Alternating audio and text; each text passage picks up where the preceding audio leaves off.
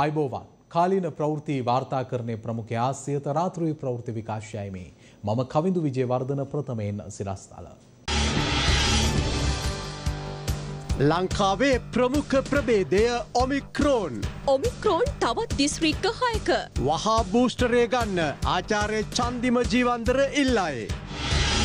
තවත් ඔමික්‍රෝන් ආසාධිතීන් එකසිය හැටක්. ඔමික්‍රෝන් හමුවේ සෞඛ්‍යපදෙස් අනුගමනය කළේ නැත්නම් රට යාලිත් වහන්න වෙයි. හැටට වැඩි පුද්ගලින් මිලියනයක් බූස්ට එන්නත ලබාගෙන නැහැ. වසංගත අංශ ප්‍රධානියා අනතුරුවඟවයි. මධ්‍යමාධිවේගී මාර්ගයේ දෙවන අධියර ජනතා අයිතියට. ලැම්පොගිනි ගානට ගිය කසිකබල් වාහන. රක්ෂණකාරින්ගේ හොද්ද බොරවෙලාද. ගෑස් පිටුපස ඉන්න මාෆියාකරුවන් කවුද. අදත් අලුත් ගෑස් සිලින්ඩර පුපුරයි. විදුහල්පති ගුරු උපදේශක සහ ගුරු සේවය සංකෘත සේවාවන් බවට පත් කළ ගැසට්ටුව එලියට. අපේ රටේ දේශපාලන රැකවරණය මත වල දැමූ සහ වසා දැමූ අපරාධ රැසක් අනුර කියයි. කොවිඩ් වැළඳුණු පසු අවධානම දෙගුණ කරන තවත් ජානයක් පෝලන්තයෙන්. හුංගා ටොංගා හුංගා හපායි සක්‍රිය වෙයි. පැසිෆික් සාගරයේ සුනාමි අවධානමක්. ප්‍රථමෙන් දේශීය පුවත්. මධ්‍යම අධිවේගී මාර්ගයේ මීරිගම සිට කුරුණෑගල දක්වා වූ දෙවන අධියර අද ජනතා අයිතියට පත් කෙරුණා. ඒ ජනාධිපති ගෝඨාභය රාජපක්ෂ මහතාගේ සහ අග්‍රාමාත්‍ය මහින්ද රාජපක්ෂ මහතාගේ ප්‍රධානත්වයෙන්.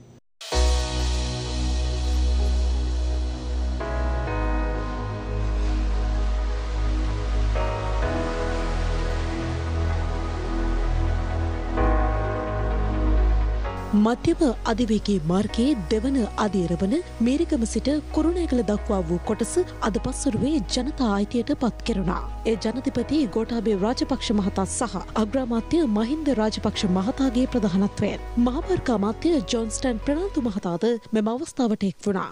අංපෙත් තනන රටේ උතුරු දකුණු පාලමක් සංකේතවත්ව විවෘත කරන්නට පුළුවන්කමක් ලැබෙන ඒ මාර්ගයේ අභිමහන්තුමක් වගේම මේ මධි මධිවේගී මාර්ගය ඉදිකිරීම වෙනුවෙන් එවක ජනාධිපතිවරයා ලෙස මුල්ගල තබමි. මධ්‍යම අධිවේගයේ දෙවන අධීර විවෘත කරමින් මේරිකම අන්තර් හෝමාරුවෙන් පළමු ප්‍රවේශ පත්‍රය ලබාගත් ජනාධිපති ගෝඨාභය රාජපක්ෂ මහතා සහ අග්‍රාමාත්‍ය මහින්ද රාජපක්ෂ මහතා ඇතුළු පිරිස කුරුණෑගල දක්වා ගමන් ආරම්භ කළා.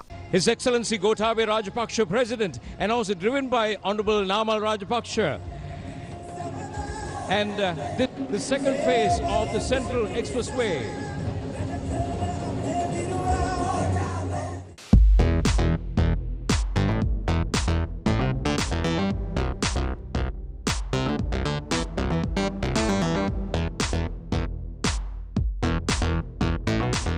අද පස්සරු පහයි තිස් අට පමණ වන විට ජනාධිපතිවරයා ඇතුළු පිරිස කුරුණෑගල අන්තර් හෝමාරු මධ්‍යස්ථානය වෙත පැමිණියා.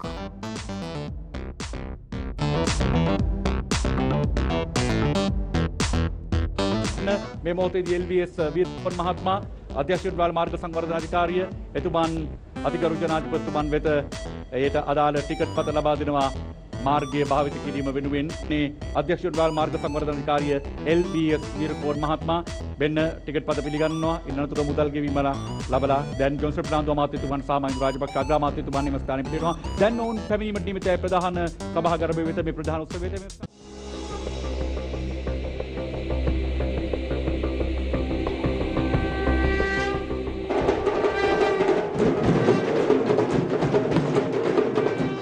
මේ රට බංකොලොත් වෙන්න තිබුණා කියලා තමයි අපේ හාමුදුරුවනේ කිව්වේ. නේද?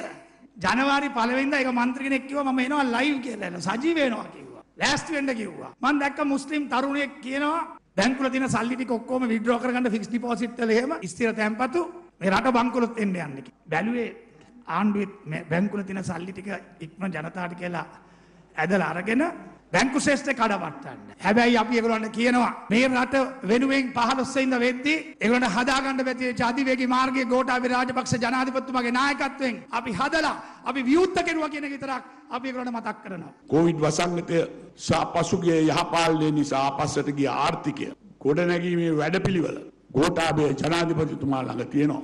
විවේචනවලට වචන වලින් පිළිතුරු දීමට වඩා අවශ්‍ය වන්නේ ක්‍රියාවෙන් පිළිතුරු දීම කියලායි එතුමා විශ්වාස කරන්න. පහුගේ අවුරුදු දෙක විවේචකයන්ට බාර දීලා ඉදිරි වසර තුන අපි අභියෝගය ජයගෙන ඉදිරියට යමු කියලා. ඒක තමයි අපේ බලාපොරොත්තු. කරනවයි කියපු ඒ පොරොන්දුණු වැඩ සියල්ලම ලබන අවුරුදු තුන තුළ කරනවා කරනවාමයි කියනක මන් තමුන්නාන්සලාට පොරොන්දු වෙනවා. මේ බොරු ප්‍රචාරවලට අදයි රෙමන්ත් වෙන්නේ නැතුව අපි මේ ජනතාවට පොරොන්දු වුණු වැඩ කොටස මේ අවුරුදු තුළ කරමුයි කියන එක තමුන්නාන්සලාගේ මගේ ඉල්ලා සිටිනවා. අපි පසුපටු යන්නේ හාමුදුරනේ. මාධ්‍යවලට කියනවා ගහ ගැනීමක් නෑ මෙතන. කවුරුවත් අතර තරගයක් නෑ. අපි ඔක්කොම ඇවිල්ලා ඉන්න රට හදන්න. මම මාධ්‍යවේදින් ඉල්ලා සිටිනවා. ඔබ මේ සංවර්ධනයේ පාර්ශකරුවෙක් වෙන්න. මට 69 ලක්ෂයක් ඡන්දය නේනකොට මම හිතන්නේ 52 ලක්ෂයක් මට විරුද්ධව ඡන්දය දුන්නා. ඒකත් අමතක කරන්න එපා. ඒ 52 ලක්ෂයේ කාර්යභාරය විවේචනය කිරීමයි. ගෑසට සැඟවුණු මාෆියාවක් ඇති බව අප නිරන්තරයෙන් සඳහන් කළා. ඉතිහාසයේ කවදාවත් නැති ආකාරයට සිදුවන ගෑස් ආශ්‍රිත පිපිරීම් ඇත්තටම අසාමාන්‍යයි. ලිට්‍රෝ සුරැකීමේ සභහපති නලින් සමන්ත මහතා ඒ බව ඊයේ තහවුරු කළා. ඇත්තටම මේ මාෆියාව කුමක්ද. ලංකාවේ ගෑස් අලවි කරන්නේ ප්‍රධාන සමාගම් දෙකයි. ඒ ලාබ් සහ ලිට්‍රෝයි. ලිට්‍රෝ යනු සම්පූර්ණයෙන්ම රජයට අනුබද්ධිත සමාගමක්. සම්පූර්ණ ගෑස් අධිකාරී ඇත්තේ මේ සමාගම් දෙක සතුවයි. පසුගේ වසරේ සිට තමයි මේ සමාගම් ජනතාවට හරියටම ගෑස් පෙන්වන්න පටන් ගත්තේ. ඒ ගෑස් මිල ඉහළ දමමින් සහ පුපුරණ ගෑස් අලවිකරමින් සිදුවුණු අනතුරුත් සමගයි. ගෑස් අනතුරු ඉතිහාසයේ කෙටියෙන් සැලකීමේදී යම් යටිකූට්ටු ගේමක් ඇති බව ඉතා සරලව පැහැදිලි වනවා. දෙදස් දහනමේ වර්ෂයේදී අනතුරු හැත්ත අටයි. දෙදස් විස්සේ අවුරුද්දේ අනතුරු තිස් එකයි. පසුගිය වසරේ අනතුරු අටසිය හතලිස් හතයි. දෙදස් විසියකේදී ලිට්‍රෝ සමාගම වෙළඳපලට නිකුත් කළ සිලින්ඩර ගණන ලක්ෂ විසි අටයි. ඉන් හත්සිය අනු හතක්ම ආශ්‍රිතව අනතුරු වාර්තා වුණා. ලාබ් සමාගම සිලින්ඩර දෙලක්ෂ අසූදහසක්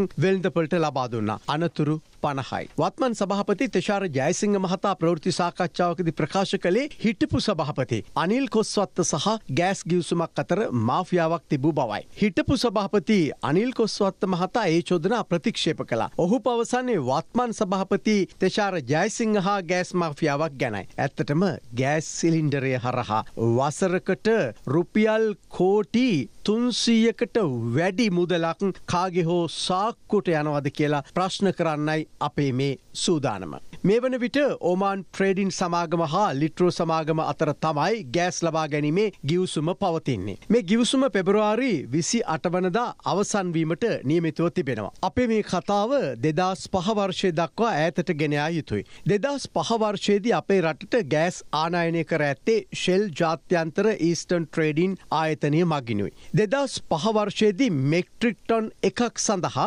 වරාය සහ රක්ෂණ ගාසු ලෙස ගෙව ඇත්තේ ඩොලර් හතලිස් පහයි. දෙදස් අටේදී එක්වරම වරාය හා රක්ෂණ ගාස්තු ඩොලර් එකසිය හතලිස් හයක් දක්වා ඉහළ යනවා. දැන් බලමු දෙදස් දාසේ සිට දෙදස් දහට දක්වා. ලිට්‍රෝ සමාගමට ගෑස් සපයන්නේ ශෙල් ගෑස් සමාගම. එවිට වරාය හා රක්ෂණ ගාසු ඩොලර් පනස් සටයි. දැන් ගෑස් දෙන්නේ ඕමාන් ට්‍රේඩින් සමාගම. වරාය හා රක්ෂණ ගාස්තුව ඩොලර් එකසිය හයක් ලෙස අසාමාන්‍ය ආකාරයට ඉහළ දමා තිබෙනවා. ලිට්‍රෝ සමාගමේ දල මාසික ගෑස් ආනායනය මෙට්‍රික් ටොන් තිස් දහක් වෙනවා. ටොන් එකකට දල වශයෙන් වරාය හා රක්ෂණ ගාසු ඩොල හතලිස් අටක් වැඩිපුර එකතු වෙලා. ඒකැනි මුලින් ගෙව්වේ මෙට්‍රික් ටොන් එකකට වරාය හා රක්ෂණ ගාසු ඩොලර් පනස්සටයි. දැන් එකසිය හයයි වැඩවීම ඩොලර් හතලි සටක් දල වශයෙන් වැඩිපුර ගෙවන මුදල ඩොල මිලියන එකයි දසම පහක් විතර වෙනවා. නැත්තා රුපියල් වලින් නම් කෝටි තිහක්. එකැනෙ මාසකට රුපියල් කෝටි තිහක් වසරකට රුපියල් කෝටි තුන්සිය හැටක් විතර. ඇත්තටම මේ ගනුදෙනුව යහපාලන රජයේ සිටම සිදුවන්නක් බවයි පැවසිය යුත්තේ. දැන් නැවත මේ ගෑස් ගියවසුමේ ටෙන්ඩර් කැඳවන්නේ නැතිවම දීර්ඝ කරන්න බලපෑමක් තියෙනවා. මේ ගෑස් ආශ්‍රිත පිපරීම් සංයුති වෙනස් කිරීම් සියල්ල පිටුපස ටෙන්ඩර් සහ කොමිස් ගණු දෙනුවක් ඇති බව බැලූ බැල්මට පේන්න තියෙනවා. ඇත්තටම රජයේ මේ පිළිබඳව වහා සොය බැලියයුතුයි. සංයුතිය වෙනස් කිරීමේ සිට සියලු කාරණා සැලසුම් සහගත අපරාධසේ සලකා අධිකරණය හමුවට ගෙන අයුතු බවයි අපේ විශ්වාසේ. රජය වාහන ආනයනය නතර කළා. ඒ ඩොලර් හිඟය නිසායි. ඒ සමඟ පාරට දාන්නවත් සුදුසු නැති වාහන පවා මාර්ගයට ආවා. වසර විස්සක් පමණ පරණ සාමාන්‍ය වාහනයක මිල රුපියල් ලක්ෂ හැට හැත්තෑව දක්වා ඉහළ ගිහින්. ඇත්තටම මේ මිල ඉහළ දැමීම අතිශය කෘතිමයි. සැලසුම් සහගතයි. මේ පාරට එන පරණ ලදරන් වාහන වහා ඉවත් කළ යුතුයි. වාහන ආනයනය හරි පාරට ගත්තොත් ඩොලර් රටට ගේන්න හැකි බවයි වාහනානයනකරුවන් පවසන්නේ. රජය අත්‍යවශ්‍ය වන්නේ නැති බහන්ඩ ආනායනය සීමා කලා නැතහොත් යම් කාලයකට නතර කලා. වාහන ආනායනයත් වසර දෙකකට පමණ තහනම් කර තිබෙනවා. ත්‍රීරෝධ රතේ යතුරු පැදියේ සිට අති සුකෝපභෝගී වාහනවලටත් ඒ නීතිය ක්‍රියාත්මකයි. මේ සමඟ අපේ වාහන වෙළඳපලට කුමක්ද සිදුවනේ. රුපියල් ලක්ෂ එකසිය පණහකට තිබුණු වාහනයක අදමිල රුපියල් ලක්ෂ තුන්සිය පණහකට වඩා ඉහළගින්. රුපියල් ලක්ෂ පණහකට තිබුණු වාහනයක දැන්මිල රුපියල් ලක්ෂ සීයත් පැනලා. මෙය අතිශය කෘත්‍රිම මිල ඉහළ දැමීමක්. මේ ආකාරයට කිසිසේත්ම වටින්නේ නැති ගණන්වලට පරණ වාහන මිල ඉහළ දැමීම සැලසුම් සහගතයි. ඒ පිටු පස සමහර කාසෙල්කරුවන් ඉන්නවා. මේ කෘත්‍රිම මිල ඉහළ දැමීම නිසා රක්ෂණ වෙලින්දන්ට නම් ගජවාසී. රුපියල් ලක්ෂ එකසිය පණහක වාහනයක සාමාන්‍ය රක්ෂණ මිල වුණේ රුපියල් එක් ලක්ෂ අනූදාහක් පමණයි. නමුත් දැන් ඒ පරණ වාහනයම මිල කරන්නේ රුපියල් ලක්ෂ තුන්සියකට විතර. එවිට රක්ෂණයක් ඩබල් වෙනවා. අඩුම ගානේ ලක්ෂ තුනහමාරක විතර රක්ෂණයක් ගෙවන්න ඕනේ. මීට පෙර අලුත්ම ත්‍රීවිල් එකක මිලවුනේ රුපියල් ලක්ෂ දහයක් පමණයි. ඉන් රුපියල් ලක්ෂ පහක්ම රජයට ගෙවූ බදු. දැන් අලුතින් ත්‍රීරෝධරත ගෙන්වන්නේ නැහැ. අද පරණ ත්‍රීරෝධ රථයක් රුපියල් ලක්ෂ හතත් දහයත් අතර මිලකට ඉහළ ගිහින්. ඇත්තටම ඩොල නැති බව සත්‍යයක්. ඒ නිසා වාහන ආනයනයේ සීමා කරන්න වූ බවත් අප පිළිගන්නවා. නමුත් රජයට ඩොලර් අවශ්‍ය වෙලාවක ඒ සඳහා වන සමහර නිවැරදි මාර්ග සලකා බලන්නේ නැත්තේ ඇයිද යන්න ප්‍රශ්නයක්. ජපානයේ ශ්‍රී ලංකා වාහන අපනයනකරුවන්ගේ සංගමය පසුගේ කාලේ අපු රියෝජනාවක් කලා. ඒ පිටරට ඉන්න ඩොල තියෙන අයට අපේ රටට ඩොලර් එවලා ඩොලවලින් බදු ගෙවලා වාහනගෙන් වන්න අවසර දෙන්න කියලා. ජපානයේ ශ්‍රී ලංකා ව්‍යාපාරකින්ගේ සංගමේ සභහපති ජගත් රාමණයක මහතා ඒ යෝජනාව රජයට ඉදිරිපත් කලා. පිටරට මුදල් තියෙන බොහෝ අය ඉන්නවා. ඒ අයට අවශ්‍යයි වාහනයක් රටට එවන්න. ඒ වාහනවලට බදු සහ ගෙවීම් ඩොලර් වලින්ම කරන්න පුළුවන්. රටට ඩොලර් ගේන්න තියෙන හොඳම ක්‍රමයක් මේක. වාහන ගෙන්වීමේ ප්‍රශ්නෙත් යම් දුරකට එමගින් අවසන් වෙනවා. එහිලා වත්මන් මහබැංකු අධිපති අජිත් නිවාඩ් කබ්‍රාල් මහතා දැක්වුවේත් ඉතා යහපත් ප්‍රතිචාරයක්. එය හොඳ යෝජනාව. ඒක වාහන මිල අඩු කිරීමට හොඳ රුකුලක් වෙන්න පුළුව. අපිට ආදායමත් ලැබෙනවා. විදේශ විනිමයත් ලැබෙනවා. ඒ වගේම රටට අලුත් වාහන ටිකකුත් වෙනවා. නමුත් අදවනතෙක් නිස්සි ඉදිරිපියවරක් අරගෙන නැහැ. අපට ඩොල අවශ්‍යනම් වාහන බද්ධ ඩොලර් වලින්ම ගන්න පුළුවන් නම් එය මේ අවස්ථාවේ රටට අතිශය වාසිදායකයි. එසේම තුට්ටු දෙකක් වටින්නේ නැති පරණ වාහන පාරටෙන එකත් නතරවේවි. ඊටත් වැඩියෙන් මේ වටින්නේ නැති ගණන්වලට මිල ඉහළ දාලා ඒ වාහනවලට රටේ මිනිස්සුන්ගේ සල්ලි රක්ෂණවලට එකතු කරගන්න දෙන්න එපා කියලත් මතක් කළ යුතුයි. පරණ වාහනවල අධික මිල පාලනය කළ යුතුවා සේම රක්ෂණයට හුරාකණ මුදලුත් වහා නතර කළ යුතු බවයි අපේ විශ්වාසය. බොරල්ල දේවස්ථානයක තිබී හමු වූ ජීවත් බෝම්බය පිළිබඳ විමර්ශන තවත් දින කිහිපයකින් අවසන් වනු ඇතැයි ආරක්ෂක ලේකම් ජෙනරල් කමල් ගුණරත්න මහතා අද ප්‍රකාශ කළා. කෙසේ වෙතත් කාදිනල් හිමිපාණන් පවසන්නේ විමර්ශන කටයුතු පිළිබඳ සෑහීමකට පත්විය නොහැකි බවයි. බොරැල්ල සියලු ශාන්තුවරුන්ගේ දේවස්ථානයේ තිබී පසුගියදා හමු වූ ජීවත් බෝම්බය සම්බන්ධ සිද්ධිය මේ වන විට රටේ මාතෘකාවක් බවට පත්ව තිබෙනවා. පසුගේ එකොළස් වනදා දේවස්ථානයේ තිබී හමු වූ මෙම අත්බෝම්බය පොලිස් විශේෂකාරය බලකාය එදිනම නිෂ්ක්‍රිය කළා. පසුව සිද්ධියට අදාළව පුද්ගලින් සිව් දෙනෙකු පොලිසිය අත්අඩංගුවට ගත් අතර මේ වන විට පුද්ගලින් 14 දෙනෙකුගෙන් ප්‍රකාශ සටහන් කරගෙන තිබෙනවා. අත්අඩංගුවට ගත් සැකකරුවන්ගෙන් අයෙකු 13 හැවිරිදි ළමයෙකු ලවා ජීවත් බෝම්බය අල්තාරය උඩ තබා ඇති බවට විමර්ශනවල දිනවලදී හෙළි වූ බව පොලිසිය ප්‍රකාශ කළා. නමුත් මාධ්‍ය හමුවක් ඇඳවමින් කොළඹ අගරදගුරු කාදිනල් මැල්කම් රංජිත් හිමිපාණන් සිද්ධිය සිදු වූ දින පෙරවරුවේ පුද්ගලයෙකු දේවස්ථානයට ඇතුළු වන ආකාරයේ CCTV දර්ශන පෙළක් මාධ්‍යයට නිකුත් කළා. එමෙන්ම කාදිනල් හිමිපාණන් පැවසුවේ පොලිස් විමර්ශනවල අඩුපාඩුවක් ඇති බවයි. මේ රටේ මාතෘකාවක් නිර්මාණය කිරීමට ගත් උත්සාහයක් බවත් උන්වහන්සේ වැඩිදුරටත් පැවසුවා. එහිදී උන්වහන්සේ පොලිසියට විශාල චෝදනාවක් එල්ල කළා. අපේ ඉතිහාසය පුරාවටම පොලිසිය කරලා තියෙන දේවල් දිහා බලනකොට මේකත් ඒ වගේ එකක්ද කියලා අපිට ප්‍රශ්නයක් මතුවෙනවා. ගැතිකම් කරන්න නෙමෙයි පොලිසිය තියෙන්නේ. ඔය යුනිෆෝම් එක ගලවලා දාලා ගෙදර යන්න. කාදිනල් හිමියන්ගේ චෝදනාවලට ඊයේ දින පිළිතුරු දුන් අමාත්‍ය සරත් වීරසේකර මහතා පැවසුවේ විමර්ශන තවමත් සිදු කරගෙන යන බැවින් එසේ පැවසීම යුක්ති සහගත නැති බවයි. මේ අතර ඊයේ දින යළිත් ප්‍රකාශයක් නිකුත් කළ කාදිනල් හිමිපාණන් පැවසුවේ විනිවිද පෙනෙන අයුරින් අදාළ විමර්ශන සිදු කිරීමට සරත් වීරසේකර අමාත්‍යවරයාට අවශ්‍යතාවයක් නැති බවයි. පොලිසිය සාමාන්‍යයෙන් ওই මිනිසුන් අරන් ගියාම මේ මිනිසුන්ට ඒගොල්ලන්ට ඕන දේ කියවගෙන අස්සම් කරව ගන්නවා. ඇමතිතුමා අවංක නම් අපි ඉදිරිපත් කරපු සාක්ෂිය ගැන හොයලා බලනවා. ඇමතිවරුන්ගෙන් සත්‍යය සාධාරණත්වයේ ඉටු වෙයි කියලා අපිට විශ්වාස කරන්න බෑ. මේ අතර මේ පිළිබඳව අද දින ආරක්ෂක ලේකම් කමල් ගුණරත්න මහතා මෙවන් ප්‍රතිචාරයක් දැක්වුවා. සිද්ධියක් වෙලා පැය විසි හතරක් ඇතුළත ඒ සිද්ධිය ගැන විවේචනය එල්ල කරාට ඒක මංහිතන්න සාධාරණයි කියලා. අත්බෝම්භයක් හම්බෙලා තියෙනවා ඒ බෝම්බය එතනින් තියපු කෙනාව අපි අත්තඩංගුවට ගත්තා. නමුත් ඒ මාර්ගයෙන් ගිහිල්ල හිටන් තව අත්තඩංගුවට ගැනීම් තව කීපයක්ම සිද්ධ කරන්න තියෙනවා. මම ආරක්ෂක ලේකම් විදියට මම සහතිකයක් දෙනවා රටේ ජනතාවට මේ සම්බන්ධය සියලුම පුද්ගලයන් නීතිය රැහැනට ගේනවා කියලා. කාදිනල් වහන්සේ එහෙම ප්‍රකාශ කරාට පරීක්ෂණ කරන ආකාරය උගන්නන්නවත් ඒ අය කරපු විදි විවේචනය කරන්න නැතිව පොඩ්ඩක් පරීක්ෂණ කරන්න ඉඩ දෙන්න. තව දවස් කීපයක් යනකොට සම්පූර්ණ විස්තරය රටේ මහජනතාවටත් ඒ වගේම කාදිනල්තුමාටත් දැනගන්න පුළුවන්.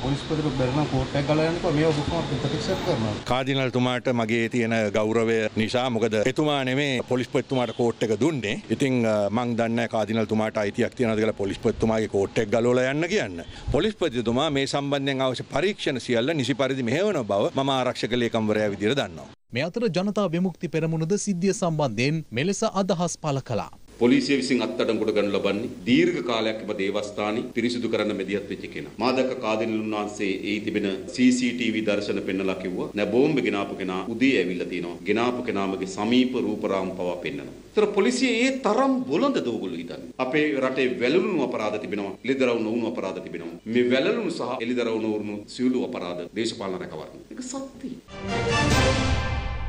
ඔමික්‍රෝන් වෛරසය ආසාධනය වූ තවත් රෝගීන් එකසිය හැට දෙනෙකු අද තහවුරු වුණා. උගුර රිදීම ඔමික්‍රෝන් වෛරසයේ ප්‍රධාන රෝග ලක්ෂණයක් ලෙසයි හඳුනාගෙන ඇත්තේ. එය අනුව බූස්ටර් ඉන්නත් මාත්‍රාව ලබාගත යුතු බවයි ආචාර්ය චන්දිම ජීවන්දර මහතා පෙන්වා දෙන්නේ. ඔමික්‍රෝන් වෛරසය ආසාධනය වූ තවත් රෝගීන් එකසිය හැට දෙනෙකු අද තහවුරුණා. ජෛව පටල සාම්පල එකසිය අසූ දෙකකින් මෙම රෝගීන් තහවුරු වූ බවයි ආචාර්ය චන්දිම ජීවන්තර මහතා ප්‍රකාශ කළේ. අපි බලාපොරොත්තු වුණා වගේම ඔමික්‍රෝන් ප්‍රභේදයේ ලෝකයේ අනිකුත් තැන්වල වගේම ලංකාවේ ප්‍රමුඛතම ප්‍රභේදය බවට පත්වීම පවතිනවා. කියන්නේ බහුතරයක් වාර්තා වුණේ අපි කියන ඩිපාචර් පැසෙන්ජර්ස්. කියන්නේ ලංකාවෙන් පිට යන්න යනකොට කරපු පර්යේෂණ මගින් තමයි වාර්තා වෙලා තියෙන්නේ. ඒ රෝගීන් වාර්තා වෙලා තියෙන දිස්ත්‍රික්ක තමයි ප්‍රධාන වශයෙන් කොළඹ, ගාල්ල, මාතර, නුවර, ගම්පහ සහ ත්‍රිකුණාමල කියන දිස්ත්‍රික් වලින් පැමිණි රෝගීන්ගෙන් තමයි වාර්තා වෙලා තියෙන්නේ. ඉතින් අදහස් වෙනවා රටේ විවිධ ප්‍රදේශවල පැතිරීමක් තියෙනවා කියන එක. ඒ වගේම තමයි මේකෙදි අපි මේ විශේෂයෙන්ම ඔමික්‍රෝන් ප්‍රභේදයේ ලෝකේ ගත්තාන් පස්සේ දැනට අපි හඳුනාගෙන තියෙන ලෝකේ පුරාවට අනු ප්‍රභේද තුනක්. එකට අපි කියනවා BA1 BA2 සහ BA3 කියලා. ඉතින් මේ අනුප්‍රභේද තුනෙන් අපි ලංකාව තුළ මේ ප්‍රධාන අනුප්‍රභේද දෙකම හඳුනාගත්තා. BA1 සහ BA2 කියන එක. BA1 කාණ්ඩයෙන් අපි 139කුත් BA2 කාණ්ඩයෙන් 17කුත් හඳුනාගත්තා. ඉතින් මේ අනුප්‍රභේද ගත්තාන් පස්සේ මේ වගේ පොඩි පොඩි වෙනස්කම් තියෙනවා. එකක් තමයි අපි දන්නවා රෝග ලක්ෂණ වශයෙන් ගත්තාන් පස්සේ විශේෂයෙන්ම ගඳ සුවඳ නොදැනීම කියන එක ඩෙල්ටා ප්‍රභේදයට සාපේක්ෂව මේකේ අඩු බවක් තියෙනවා. විශේෂයෙන්ම ඔමික්‍රොන් ප්‍රභේදය ආශ්‍රිතව ආසාදනය වෙච්ච බොහොමයක් දෙනාට මේ උගුරේ අමාරුව ප්‍රමුඛ රෝග ලක්ෂණයක් විදිහට දක්නට ලැබුණා. ඉතින් ඒක තමයි දැනට මේ රෝග ලක්ෂණ සම්බන්ධයෙන් යම් යම් වෙනස්කම් සම්බන්ධයෙන් අපිට දැනට වාර්තා වෙලා තියෙන්නේ. දැනට භාවිතා කරන එන්නත් මගින් පවා දරුණු රෝග තත්ත්වයන් නැති වෙන එක නවත්තන්න හැකියාව තියෙනවා. විශේෂයෙන්ම ගත්තොත් අපි එක මාත්‍රාවක් විතරක් ලබා ගත්තොත් ඔමික්‍රොන් ප්‍රභේදයේ ආශ්‍රිතව රෝගය හැදිලා රෝහල්ගත වෙන එක 54කින් අඩු වෙනවා. මාත්‍රා දෙකම ලබාගෙන සති දෙකක් සති 24 කාලයක් අතර පරාසයේදී ප්‍රතිශක්තිය ඒ තමාගේ ඇඟේ තියෙන ප්‍රතිශක්තිය නිසා ඔමික්‍රොන් ප්‍රභේදය මගින් රෝහල්ගත වීම 64ක් දක්වා අඩු වෙනවා. සති 25 පැන්නාන් පස්සේ කියන්නේ සාමාන්‍ය මාස 6ක් පැන්නාන් පස්සේ ඒ ආරක්ෂාව 44 දක්වා අඩුවීමක් තමයි දැනට තියෙන දත්ත වලින් වාර්තා වෙන්නේ. එතන මේ අනිත් පුද්ගලයෙක්ට මාස 6ක් විශේෂයෙන්ම ගියාන් පස්සෙත් බූස්ටර් ඩෝස් එකක් ලබා ගත්තාම මේ ප්‍රතිශක්තිය රෝහල්ගත වීමට එරෙහිව 83ක් දක්වා වැඩි වෙනවා කියන තමයි දැනට වාර්තා වෙලා තියෙන්නේ. ඩෙල්ටා රෝගයට සාපේක්ෂව ඔමික්‍රොන් ප්‍රභේදය රෝග පැතිරිවීම 3.2කට වඩා වැඩි වේගයකින් පැතිරෙනවා කියලා තමයි දැනට වාර්තා වෙලා තියෙන ඒ දත්ත විශේෂයෙන් එංගලන්තයේ ආශ්‍රිත තමයි වාර්තා වෙන්නේ. විදුහල්පති සේවය ගුරු උපදේශක සේවය සහ ගුරු සේවය සංවෘත සේවාවක් බවට පත් කරමින් අති විශේෂ ගැසට් නිවේදනයක් නිකුත් කර තිබෙනවා.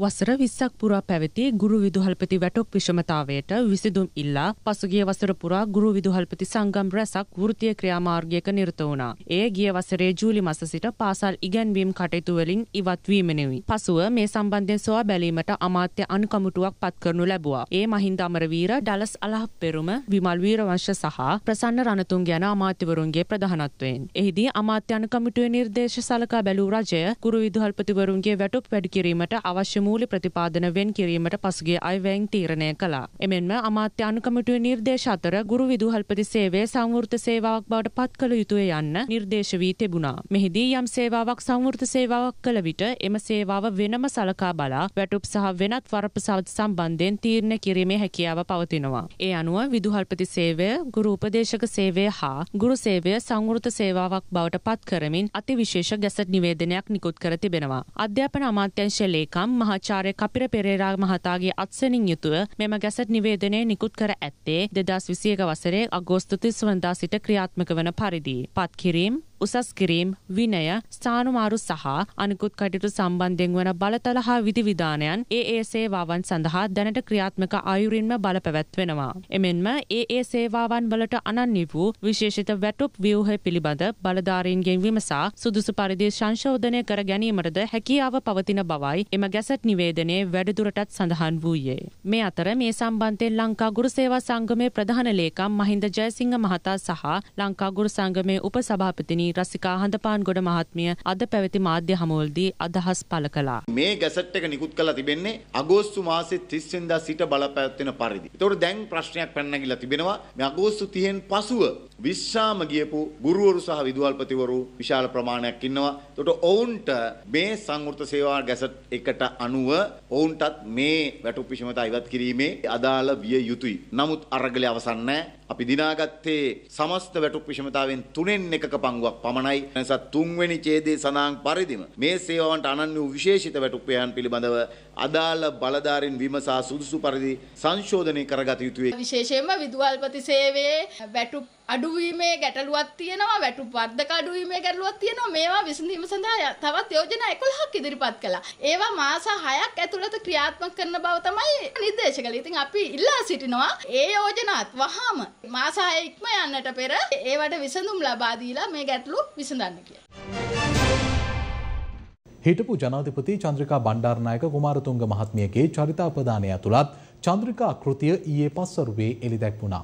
ලේඛක තරිදු තොටවත්ත මහතා විසින් මෙම කෘතිය රචනා කර තිබුණා.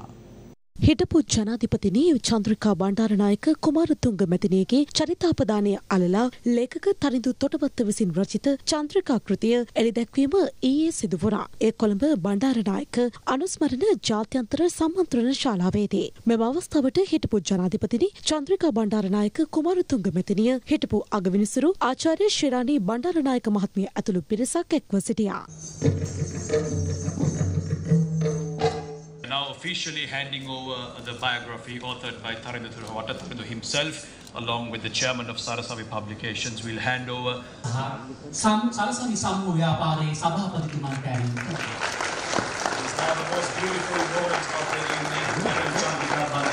පිළිගන්නනවා එවගේම මහාචාර්ය සුනිල් ආරියරත්නයන් ඕනෑම කෙනෙකුගේ ජීවිතයේ Taman අගය කරන ඊටාම ගරුත්වයෙන් සලකන පරමාදර්ශී චරිත තියෙනවා. අපි දැනුවත්ව හෝ නොදැනුවත්ව අගය කරන පුජ්‍යලයන් අපි හැම කෙනා තුළම ජීවත් වෙනවා. ඒක අපි බාහිරව පිළිගන්න සමහර වෙලාවලට අකමැති වුණත් අපේ අභ්‍යන්තර මානසිකත්වයේ ඇතුලේ ඒ අදහස තියෙන බව ඒකාන්ත සත්‍යයක්. චන්ද්‍රිකා කුමාරතුංග මැතිනිය කියන්නේ ශ්‍රී ලාංකිකයන් නොදන්නා චරිතයක් නෙමෙයි. එතුමිය රටට ජාතිර ලබා දුන් මෙන්ම රටෙන් උකහාගත් ප්‍රතිභාව මතින් නැගී සිටිය අපූර්ව චරිතයක්. ඒ චරිතයේ සුවිශේෂී ලක්ෂණය වෙන්නේ එතුමිය දේශපාලනයට සම්බන්ධ වීමත් එක්කම Tamanට Tamanගේ ජීවිතය කියලා දෙයක් එතුමියට අහිමිවීම. මේ පොතේ අන්තර්ගතය වෙන්නේ චන්ද්‍රිකා කියන අති සුවිශේෂී චරිතය. දැන් දේශපාලන වේදිකාවෙන් ඇසුණු කතා. දේවාලවල ගිහිල්ලා එහෙම වැදලා කරගන්න එක ඉතින් අනාගතයේ වෙනුවෙන් එහෙම දෙයක් කරගන්න නම් හොඳයි. වැදලා ඉල්ලන්න තියෙන හැම විපක්ෂ නායකකම බේරලා දෙන්න කියලා. මොකද පිටිපස්සෙන් දෙකේ දෙකේ පොළු තියාගෙන වෙනම ඉන්න කණ්ඩායම. විපක්ෂ නායකකම කොයි වෙලේ ගැලවෙයිද දන්නේ නැහැ. සමහරවිට තිරුපති යන්න යනකොටත් පුටුව හංගලා යන්නේ නැත්තේ. මොකද ගිය ගමන් කවුරුරි වාඩි ගන්න. ඡන්දෙට පිරිත් නූල් බඳිනවා ඡන්දෙට පිරිකර පූජා කරනවා දන ගහලා හාමුදුරන්ට වදිනවා ඒකල මහ බැංකුවට වැඳලා මිටි පුරවගෙන යනවා සීනි වලින් කනවා කන කෑමනුත් හොරකම් කරනවා නම් වගාවට ගේන පෝර බෙහෙතනුත් හොරකම් කරනවා නම් අපේ ඇඟට ගේන සෞඛ්‍ය උපකරණනුත් බෙහෙත් පෙත්තනුත් හොරකම් කරනවා නම් ආ ඒ පාලකයන්ගෙන් කවර කතාද මිනිස්සු සාගතයක් හැදිලා මිනිස්සු එකා පිට එකා මැරෙන්න ගියත් මෙයාගේ හොරකම් කිරීමේ අවශ්‍යතාවය නම් නතර වෙන පාටක් නෑ. Taman කොහොම හරි හොරකම් කරලා සන් මරීනෝ වල හරි එහෙම නැත්නම් උගන්ඩාවට හරි පැනමා පේපර්ස් වල හරි Tamanගේ සල්ලි ටික ගිහිලා තැම්පත් කරගන්න මේ යම් කණ්ඩායමකට උමනාවක් තියෙනවා කියන එක තමයි අපට පේන්නේ. බොහොම පැහැදිලි අපිට 17 වෙනිදා මම හිතන්නේ 16 වෙනිදා වෙනකොට මිලියන 500ක් ගෙවන්න තියෙනවා. අපි ඒවා ගෙවනවා එක්ක ඒවා සාකච්ඡා කරලා කල්දා ගන්නවා. ඉතින් මේවා දාලා දුවලා එහෙම නැත්නම් මේවා කඩා වැටෙන්න ඇරලා අහක බලාගෙන ඉන්න කණ්ඩායමක් නෙවෙයි. මේ වැනි අවස්ථාවක රටේ ප්‍රශ්න විසඳිය හැකි නායකත්වයක් එක්සත් ජාතික පක්ෂය තුල තිබෙනවා. ඒ රනිල් වික්‍රමසිංහ නායකත්වයට වසර 15කට වෙනස් කළ නොහැකි යකඩ රාමුවක් තුල ශක්තිමත් ජාතික ආර්ථික වැඩපිළිවෙලක් සම්මත කරලා රට ඉදිරියට ගෙන යාම. ශ්‍රී ලංකාවේ නිදහස් පක්ෂ නායකයෝ ගිහිල්ලා එක්සත් ජාතික පක්ෂෙත් එක්ක එකතු වුණා. එකතු වෙනවත් එක්කම අපි අසරණ වුණා. නමුත් දැන් යන්නේ වෙන ගේමක්. දැන් විපක්ෂය ගහනවා පිටේ ඉඳන් ඇතුලේ ඉඳන් ගහනවා මේගොල්ලෝ. පිටින් ගහන එක ලේසි ඇතුළෙන් ගහන එක අමාරුයි. අපිට ගහන්න ඕන නම් පිටට ගිහිල්ලා ගහන්න මේක ඇතුළෙන් ඉඳන් ගහන්න එපයි කියලා තමයි අපි කියන්නේ. දැන් තවත් අපුවත් කිහිපයක් කෙටියෙන්. දැරණියගල ඉලුප්තැන්න ප්‍රදේශයේ පස් කැපීමට එරෙහිව ජනතාව මීට පෙර විරෝධතාවයක නිරත වුණා. ඒ ජල උල්පත් සහ නායෑම් සිදුවිය හැකි බව පවසමිනුයි. තාවකාලිකව මෙම පස් කැපීම නතර කළද නැවතත් එය ආරම්භ කළ ඇති ආකාරය දක්නට ලැබුණා. දැරණීගල ප්‍රාදේශීය සභාව මීට දැඩි ලෙස විරුද්ධ වුවද භූවිද්‍යා හා පතල් කාර්යාංශයේ මෙම තීරණය ගෙන ඇති බවයි වාර්තා වන්නේ. යාපනයේ සිට කොළඹ බලා කේරළ ගංජා කිලෝග්‍රම් දෙසිය පණහකට වැඩි ප්‍රමාණයක් ප්‍රවාහනය කළ සැකකරුවෙකු අත්අඩංගුවට ගෙන තිබෙනවා. සැකකරු ලොරි රථයේ පිටුපස ඉතා සූක්ෂම ලෙස මෙම කේරළ ගංජා තොගය සඟවා ඇති අතර ඔහු යාපනයේ කීරමලේ ප්‍රදේශයේ පදිංචිකරුවෙක් බවයි වවුනියාව ඊරට පෙරියකුළම පොලිසිය පවසන්නේ.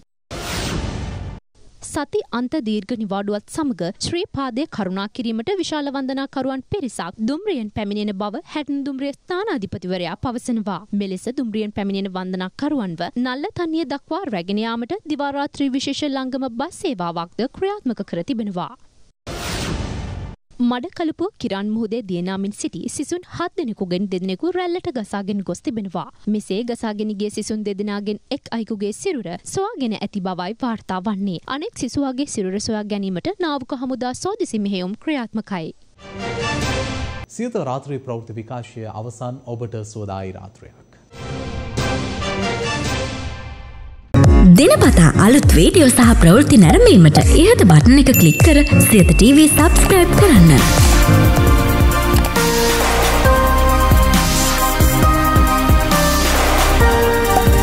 අලුත් වීඩියෝ ගැන මුලින්ම දැනගන්න මෙම සීනුව ක්ලික් කරන්න.